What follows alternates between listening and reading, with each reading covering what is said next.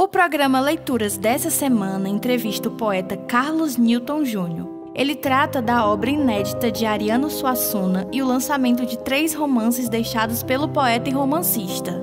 Nós todos somos nascidos, criados, formados e deformados pelo Brasil oficial.